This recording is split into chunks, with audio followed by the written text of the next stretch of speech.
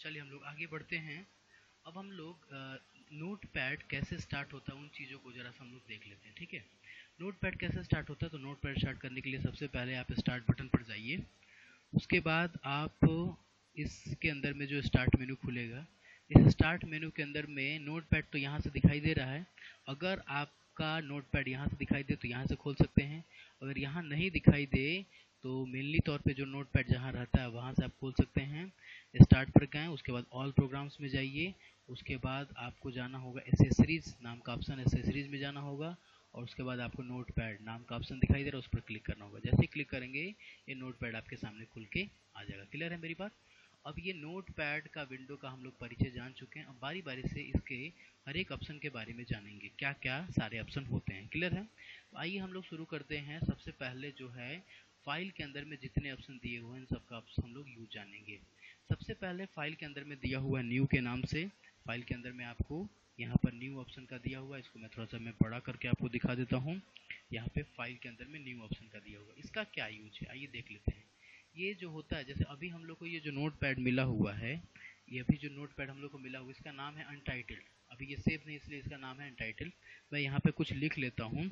अब लिखने के बाद क्या होता है, जैसे बचपन में देखे होंगे आप लोग बच्चों को कि एक पेज पर लिखने के बाद फिर जो है ना, एक कॉपी पर लिखने के बाद, एक पेज पर लिखने के बाद, एक कॉपी पर लिखने के बाद, वो क्या करता है, जिद करने लगता है कि नहीं, अब हम इस पर नहीं लिखेंगे, मुझे दूसरा कॉपी चाहिए। बचपन में अक्सर हम लोग भी शायद किए होंगे, आप लोग भी किए होंगे। उस कंडीशन में क्या होता है, वो कॉपी को फेंक देता है, दूसरा कॉपी मिल जाता है। हालाँकि इसके अंदर में ढेर सारे पेजेस हैं, इसके अंदर में ढेर सारे पेजेस हैं। देख पा रहे हैं? इसके अंदर में मैं लिखते जा रहा हूँ और नीचे वो आते जा रहा है। ढेर सारे पेजेस हैं, लेकिन उसके बावजूद भी अगर मैं चाहता हूँ कि इस पर अब काम ना करें, दूसरे कॉपी पे, दूसरे नोटपैड के फ़ाइल पे काम करेंगे तो उस कंडीशन में क्या करेंगे? फ़ाइल के अंदर में जाएँगे और न्यू नाम का ऑप्शन है, उस पर क्लिक करेंगे। जैसे क्लिक करेंगे तो हम लोग को एक नया फ़ाइल एक नया कॉपी आ जाएगा, लेकिन उसके पहले पूछेगा ये कि क्या आप इस फ़ाइल को सेव करना चाहते हैं? Do you want to save changes save करना चाहते हैं तो सेव कर लीजिए, नहीं करना चाहते तो नहीं। तो अभी हम लोग सेव करना चूँकि सीखे नहीं है, इसलिए हम अभी डॉन्ट सेव पर क्लिक करते हैं। क्लियर है? तो हम लोग को फिर से एक नया फ्रेश पेज मिल गया, एक फिर से नया फ्रेश फ़ाइल मिल गया। इसको हम लोग पेज नहीं कहेंगे, फिर से एक नया फ़ाइल हम लोग को मिल गया। या फिर से एक सिंपल शब्दों में कहा जाए तो एक नया कॉपी हम लोग को मिल गया जिसपे हम लोग अपना जो कुछ भी काम करना है, वो कर सकते हैं। क्लियर है मेरी बात? आगे बढ़ते हैं। अगला ऑप्शन है, वो है आपका ओपन करना। तो ओपन को बताने से पहले मैं सेव को बताना कर, बताना चाहूँगा। सेव कैसे किया था? तो सेव करने के लिए क्या करेंगे हम लोग? कि फ़ाइल में जाएँगे सेव करेंगे। लेकिन सेव करने से पहले कुछ लिख लेते हैं हम यहाँ पर। हम यहाँ पर कुछ लिख लेते हैं। जैसे सपोज़ मैंने लिख दिया यहाँ पे आइडियल कंप्यूटर डुमराव मैंने यहाँ पे टाइप कर लिया। आइडियल कंप्यूटर डुमराव मैंने यहाँ पे टाइप कर लिया, अब मुझे इसको सेव करना है। तो इसके लिए क्या करेंगे, फ़ाइल में जाते हैं, उसके बाद सेव नाम का जो ऑप्शन दिखाई दे रहा है, इस पर जाते हैं।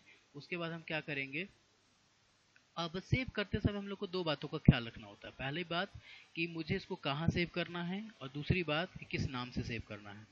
कहाँ सेव करना है मीन्स जैसे आप डेस्कटॉप पर सेव कर सकते हैं, डाउनलोड के अंदर में सेव कर सकते हैं डॉक्यूमेंट के अंदर में सेव कर सकते हैं। ये सेव करने वाले जगह होते हैं जिसके बारे में हमने पिछले दिनों में पढ़ा हुआ है। इसके अलावा कंप्यूटर के अंदर में, जो कंप्यूटर नाम का फोल्डर होता है, उसके अंदर में लोकल डिस्क सी में सेव कर सकते हैं डी में सेव कर सकते हैं ई e में सेव कर सकते हैं। अगर आपके कंप्यूटर में एफ़ नाम का ड्राइव है तो उसमें भी सेव कर सकते हैं।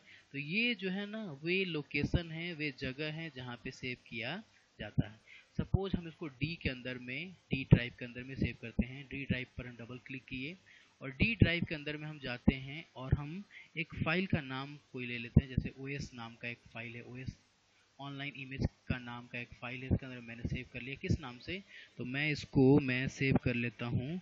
इसको मैं प्रोजेक्ट वन वहाँ दिखाई दे रहा ऑलरेडी इसको मैं प्रोजेक्ट टू के नाम से सेव कर लेता हूँ, ठीक है? प्रोजेक्ट टू के नाम से मैंने सेव कर लिया। अच्छा सेव करने के बाद पहली बात कि कहाँ सेव करना है तो मैंने डी में सेव किया लोकल डिस्क डी में। और किसके अंदर में? तो ओ एस ऑनलाइन बेज नाम का एक फोल्डर है, उसके अंदर में सेव किया। किस नाम से सेव किया? तो प्रोजेक्ट टू के नाम से सेव किया और सबसे अंत में आपको करना यह है, सेव नाम का बटन पर क्लिक करना है। जैसे क्लिक कर देंगे तो ये अब आपका सेव हो गया। क्लियर है? अब जरा सा आइए देख लेते हैं कि जिस जगह पे मैंने सेव किया है, वो वहाँ पे पहुँचा कि नहीं। तो इसको मैं क्लोज कर लेता हूँ। वापस हम लोग कंप्यूटर के अंदर में जाते हैं स्टार्ट बटन पर। उसके बाद कंप्यूटर के अंदर में जाते हैं लोकल डिस्क डी के अंदर में जाते हैं। लोकल डिस्क डी के अंदर में ओएस ऑनलाइन इमेज नाम का जो फोल्डर था, उसके अंदर में जाते हैं। और मैंने इसको एंटर कर लिया। अब यहाँ पर देखेंगे कुछ चीज़ें यहाँ पर दिखाई दे रही हैं। हमारा प्रोजेक्ट टू के नाम से था। प्रोजेक्ट टू के नाम से इसमें ये आ गया और इसमें क्या लिखा हुआ था? आइडल कंप्यूटर डुबरा उस पर डबल क्लिक करके हम देख पाएँगे। क्लियर है मेरी बात? तो ये हो जाएगा हमारा सेव करने का तरीका। आगे बढ़ते हैं। वापस हम फिर से आते हैं फिर से हम आते हैं नोट के अंदर में और ये जो लिखा हुआ है इसको हम डिलीट कर देते हैं। और फ़ाइल के अंदर में आते हैं। तो अभी हम लोग न्यू का ऑप्शन का मतलब जान चुके सेव का मतलब जान चुके अब हम देखेंगे ओपन का। ओपन का मतलब क्या होता है? ओपन क्या करता है? सेव से जो हमने सेव किया हुआ फ़ाइल को, जिस जगह पे सेव किया हुआ है, उसी जगह पे, उसी जगह पर से ये उस फ़ाइल को ओपन करने का काम करता है। यानी वापस उस फ़ाइल के अंदर मुझे काम करना है तो हम क्या करेंगे? ओपन नाम के ऑप्शन पर जाएँगे। ओपन पर जाते हैं तो ओपन करने के लिए भी दो बातों का ध्यान रखना होगा।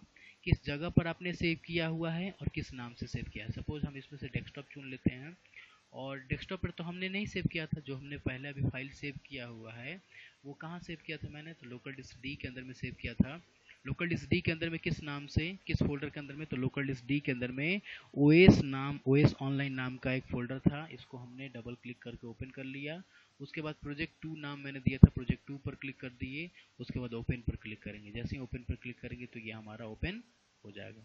क्लियर है मेरी बात? तो ये हो गया हमारा। आगे बढ़ते हैं। तीसरा ऑप्शन है हमारा यहाँ पर न्यू हम लोग जान चुके ओपन जा चुके सेव जान चुके सेव एज सेव एज भी देख लेते हैं आइए।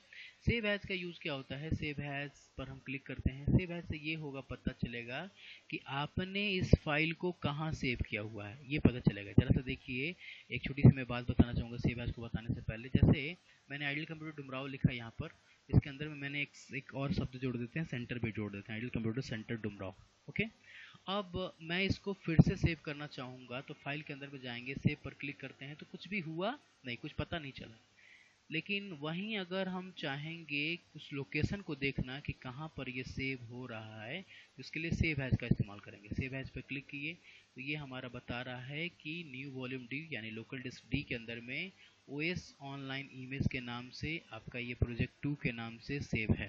क्लियर है मेरी बात तो ये तो पता चल गया कि इस नाम से सेव है। एक्चुअली में सेव है इसका यूज़ जिस पर्पज से किया था वो भी मैं बता दूँ इसका नाम मैं प्रोजेक्ट यहाँ पे टू नाम दिया गया, इसका नाम मैं प्रोजेक्ट थ्री देता हूँ और इसका लोकेशन मैं चेंज कर देता हूँ, जगह मैं बदल लेता हूँ। सेम चीज़ें हैं जो लोकल डिस्क डी के अंदर में भी प्रोजेक्ट टू के नाम से है और उसी चीज़ों को मैं चाहता हूँ दूसरी जगह पर।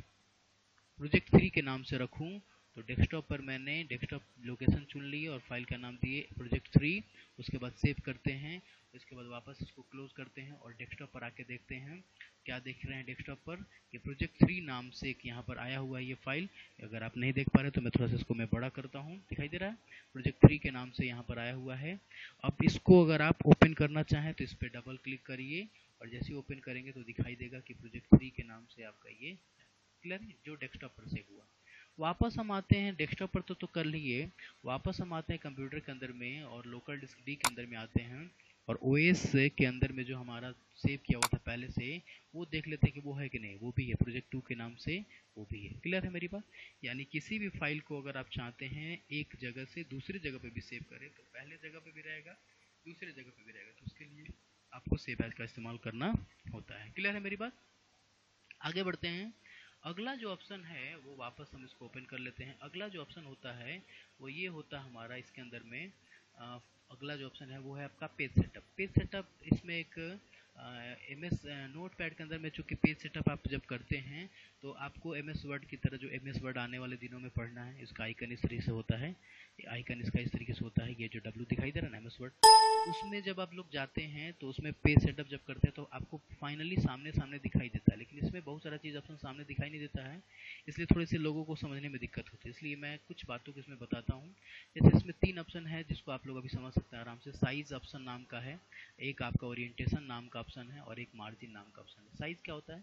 जैसे पेज का हम लोग साइज़ एम एस वर्ड के अंदर में या नोट पैड के अंदर में या वर्ड पैड के अंदर में या ऑफ़िस के अंदर में हम लोग जब काम करते हैं तो हम लोग को किसी भी चीज़ों को प्रिंट निकालने के लिए एक पेज की ज़रूरत पड़ती है। हम लोग जो असाइनमेंट आप लोग यूज़ करते हैं ना ऑपरेटिंग सिस्टम का या फिर फंडामेंटल का या जिस भी असाइनमेंट आप लोग को मिला हुआ जो भी पिछले दिनों में, वो असाइनमेंट जो मिला हुआ है वो ए साइज़ का पेज है। ए साइज़ का पेज जो आप लोगों को मिला हुआ है पिछले दिनों में देखें उसका साइज़ क्या होता है। और इसके अलावा ये ए फोर साइज़ का हो गया। अगर मान लीजिए मुझे लेटर साइज़ का लेना होगा तो लेटर साइज़ का। इसके अलावा ये पेज का साइज़ यहाँ से सुन लिए कि कितना हमारा मैटर का, कितना साइज़ का हमारा मैटर उसके हिसाब से हम लोग पेज लेते हैं। इसके अलावा पेज का ओरिएंटेशन ओरिएंटेशन अभी जो है पेज सीधा दिखाई दे रहा है तो ये पोर्ट्रेट है। अगर पेज को हम घुमा देते हैं तो ये हमारा लैंडस्केप हो गया। क्लियर है मेरी बात? तो ये पोर्ट्रेट और लैंडस्केप नाम का दो ऑप्शन है। इसके अलावा अगर आप इसको पोर्ट्रेट ही रहने देते हैं और अगर आप इसका मार्जिन जो है, यही मार्जिन जो दिखाई दे रहा है पेज से आपका पेज जो होता है पेज का जो बॉर्डर होता है, वहाँ से लिखावट की जो बीच की जो दूरी होती है बैक जो खाली स्थान होता है, उसको हम लोग मार्जिन के नाम से जानते हैं। और यहाँ पे margin zero point seven five seven five seven five search किया गया, डाला गया है। इस मार्जिन को मैं थोड़ा सा घटा देता हूँ zero point five zero point five zero point five zero point five चार तरफ़ से कर देता हूँ। क्या हुआ? पेज का जो किनारे वाला जो स्पेसिंग है, वो घट गया। अगर हम इसको बढ़ा देते हैं, सपोज़ वन वन कर देते हैं तो हमारा जो मैटर होगा, वो और बीचों बीच दिखाई देगा उसके पेज के किनारे किनारे ज़्यादा वाइट स्पेस दिखाई देगा। क्लियर है? तो ये तीन बातें इसमें आराम से समझने के लिए हैं, बाकी जो बातें हैं वो चाहे सोर्स की बातें हो या हेडर फुटर की बातें हो, या आने वाले दिनों में आप लोगों को समझ में आएगी ओके करते हैं। अब जैसे ही मैंने ओके किया तो यहाँ पे पेज का इसका प्रभाव आपको दिखाई नहीं देगा। कब प्रभाव को दिखाई देगा? जब आप प्रिंट करेंगे तो इसका पता चलेगा। अगला ऑप्शन है आपका प्रिंट नाम का। प्रिंट पर जाते हैं। प्रिंट के दौरान भी आपको इसमें से दो तीन बातों का ध्यान रखना है। हालाँकि प्रिंट भी ऑप्शन जो है वो आपको एम एस वर्ड में ज़्यादा से ज़्यादा अच्छे तरीके से समझ में आएगा। इसमें कुछ मैं बातों को बताता हूँ। प्रिंट करने के दौरान किन किन बातों का ध्यान रखते हैं, आइए देख लेते हैं। प्रिंट करने के दौरान सबसे पहले आपको करना ये होगा कि जैसे ही आप यहाँ फ़ाइल में जाते हैं और प्रिंट पर क्लिक करते हैं तो आपके सामने एक प्रिंट का डायलॉग बॉक्स आता है। इस प्रिंट के डायलॉग बॉक्स में आपको मिली तौर पे आपको दो तीन सेटिंग करनी होती हैं और बाकी जो सेटिंग्स होते हैं वो आपको आने वाले दिनों में एम एस वर्ड जब पढ़ेंगे तो उसमें ज़्यादा समझ में आएँगी। तो इसमें जो है आपको दिखाई दे रहा है तब सबसे पहला जो प्रिंट के अंदर में सबसे पहला जो काम करना होता है वो प्रिंटर का नाम आपको सेलेक्ट करना होता है। प्रिंटर का नाम यहाँ से सेलेक्ट कर लिए पी लेजर जेट प्रिंटर का नाम हो गया। ये प्रिंटर का नाम आपके कंप्यूटर में पहले से दिखाई देगा तब जब आपके कंप्यूटर में प्रिंटर इंस्टॉल होगा। तो अगर आपके कंप्यूटर में प्रिंटर पहले से इंस्टॉल नहीं होगा तो जो आप प्रिंटर खरीदेंगे, उस प्रिंटर के अंदर में कैसेट मिलता है या फिर आप नेट से भी उस सॉफ्टवेयर को लेके और अपने कंप्यूटर में जब डालेंगे इंस्टॉल करेंगे तो फिर प्रिंटर का नाम आपका दिखाई देने लगेगा। दूसरे नंबर में यहाँ पे पेज को ऑल रहने दीजिए। और उसके बाद पेज का रेंज यानी ऑल कितने पेजेस हम निकालेंगे तो जितने सारे पेजेस पे टाइप करेंगे, वो सारे पेज निकलेंगे। और नंबर ऑफ़ कॉपी में यहाँ पे वन डाला गया है। अगर हमको इस पेज को पाँच लोगों के लिए निकालना है तो पाँच, दस लोगों के लिए निकालना है तो दस, दो लोगों के लिए निकालना है तो दो, इतना करेंगे। और उसके बाद हम प्रिंट नाम के ऑप्शन पर क्लिक करेंगे। जैसे प्रिंट करेंगे तो ये हमारे प्रिंटर के अंदर में कमांड चला जाएगा और पेज हमारा निकलना शुरू हो जाएगा। क्लियर है? तो मैं इसको कर देता हूँ। आगे बढ़ते हैं और अगला ऑप्शन इसमें एग्जिट एग्जिट पे हम जाते हैं। तो एग्जिट पर से ये होगा कि आप नोट पैड से बाहर निकलना चाहते हैं तो आप एग्जिट का इस्तेमाल कर सकते हैं। क्लियर है? नोट पैड से बाहर निकलना चाहते हैं एग्जिट का इस्तेमाल कर सकते हैं। एग्जिट पर जैसे क्लिक करेंगे तो बाहर आ जाएँगे, या फिर इससे भी बाहर आने का तरीका ये भी है, इसका भी इस्तेमाल करके बाहर आ सकते हैं। हालाँकि इसका इस्तेमाल तो आप लोग जानते हैं पहले से, इसलिए मैं इसका इस्तेमाल करता हूँ। एग्जिट पर क्लिक करता हूँ और जैसे ही मैंने एग्जिट पर क्लिक किया नोट पैड से बाहर आ चुके क्लियर है मेरी बात? तो ये रहा यहाँ तक।